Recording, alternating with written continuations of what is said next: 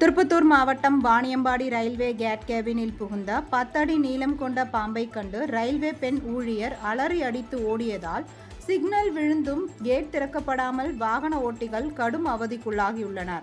Vaniyambadi new town railway gate பகுதியில் உள்ள கேபினில் திடீரென பத்து அடி நீளமுள்ள பாம்பு புகுந்துள்ளது. அதைக் கண்டு அங்கு பணியில் இருந்த ரயில்வே பெண் ஊழியர் சுபாஷினி அலறி அடித்து கீழே இறங்கி ஓட்டம் பிடித்துள்ளார். ரயில் வருவதாக மூடப்பட்ட கேட் சிக்னல் விழுந்தும் கேட் திறக்கப்படாமல் இருந்ததால் வாகன ஓட்டிகள் மற்றும் பொதுமக்கள் நீண்ட நேரம் காத்திருக்கக்கூடிய சூழல் நிலவியதால் கடும் அவதிக்குள்ளாகினர். பின்னர் அருகில் இருந்தவர்கள் உதவியுடன் கேபினுக்குள் நுழைந்த பெண் ஊழியர் கேட்டை திறந்த பின்னர் வாகனங்கள் சென்றது. இதனால் அங்கு பரபரப்பான சூழல் நிலவியது. கேபின் சுற்றிலும் முட்புதர்களாக உள்ளதால் அடிக்கடி பாம்புகள் வருவதாக ரயில்வே மேலாளருக்கு தகவல் அளித்தும் கண்டுகொள்ளாததால் அச்சத்துடன் பணி செய்யக்கூடிய சூழல் நிலவி வருவதாக ரயில்வே பெண் ஊழியர் வேதனை தெரிவித்துள்ளார்.